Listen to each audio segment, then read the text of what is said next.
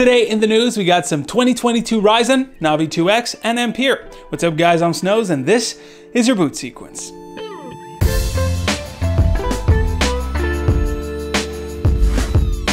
Let's get started with AMD. In the last few months, a leaker named Mebius W has been slowly releasing a roadmap for all of AMD's CPUs and APUs. That roadmap goes as far as the first half of 2022 and gives us some insight on what's to come. The most recent update to this roadmap shows us what the APU lineup will offer. If you want to learn about the rest of this roadmap, click right here for a video I did on it. But what is new is the specs for Rembrandt or Rembrandt. According to Mebius W, it will feature the Zen 3 architecture and RDNA 2, but this time with a 6 nanometer process. This is surprising since according to AMD's own CPU and GPU roadmaps, 6 nanometers isn't mentioned anywhere.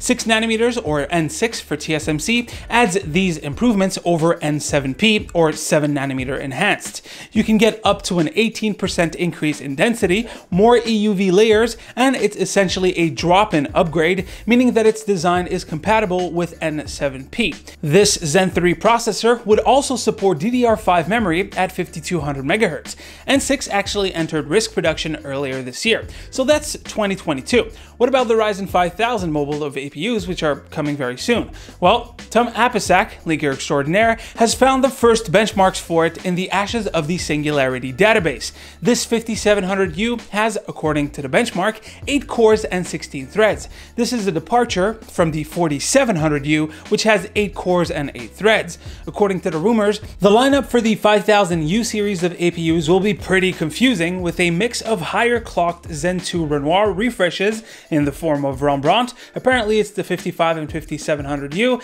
and on the higher end, there would be Zen 3 variants in the form of Cezanne, the 56 and 5800Us. See how confusing it could be? Don't expect Navi graphics though, as Cezanne is also slated to include Vega graphics. Personally, I don't think AMD is going to go that way since it's confusing as heck, but hey, rumors are rumors, right? Speaking of graphics, we got some Navi 2X news. This information is from a user on Reddit who found the codename and some specs for what appears to be AMD's lower end GPUs based on the RDNA 2 architecture. This information comes from the latest ROCm update from AMD. ROCm is an open source exascale platform from the company. Anyways, in that update, the codename Navy Flounder is found with some specification. That GPU would have 40 compute units, 2500 60 stream processors, and it would feature a 192-bit wide memory bus. Now, the core count is considered accurate given it's the number of shader engines multiplied by the number of dual CUs per those shader engines. As for the memory bus width, it was deduced by the number of texture channel caches, but bus width can be decoupled from it, so it's possible that this spec is wrong. But if Navi 21 has a 256-bit wide bus with 16GB of VRAM, Navy Flounders would have 12GB at 192 bits. This GPU could be the one we saw in an older Ashes benchmarks, which placed it at around a 20% improvement compared to the 5700 XT, but it's too early to tell. Dim Gray Cavefish is also another codename. This time it's for Navi 23. This one was found by Komachi Ensaka over on Twitter. Next up, we got some NVIDIA news. Remember on the uh, last episode, we saw an early TecLab review for the RTX 3090, and we were disappointed by it being only about 10 to maximum 15% faster on average when compared to the 3080.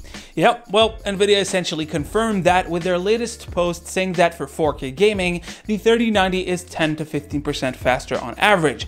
But that doesn't really matter since, well, it's a $1,500 GPU. So what about the rest of the stack?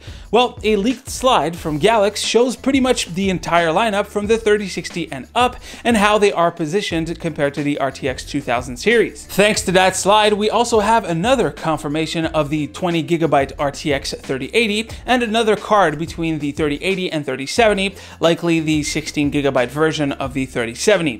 The 3060 also makes an appearance and will apparently match the RTX 3080 in performance. If this RTX 3060 takes the same 300 to $350 price point as the 2060, that would basically mean we have a 50% price cut after two years. That's pretty good. And that is pretty much it for the catch up, guys. Hopefully you've enjoyed. Drop a like if you liked it, a comment if you want to talk about today's stories. As usual, you can click right here to see the latest video right here to subscribe to the channel. Stay frosty, my dudes, and I'll see you on the next one. Take care.